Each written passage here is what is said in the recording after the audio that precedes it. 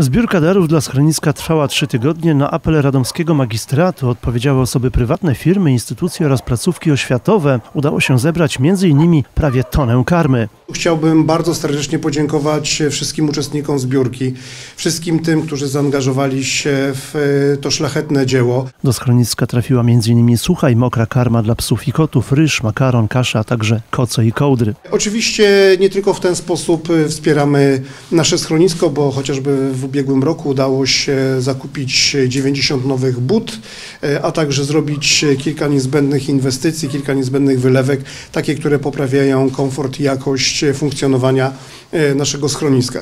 W tym roku w ramach realizacji projektów z budżetu obywatelskiego zostanie przeprowadzona akcja kastracji i sterylizacji psów oraz kotów. Ma to zapobiec ich niekontrolowanemu rozmnażaniu. Na ten cel zostanie przeznaczona kwota 300 tysięcy złotych. Obecnie w schronisku dla bezdomnych zwierząt przy ulicy Witosa przebywa 550 psów i 50 kotów.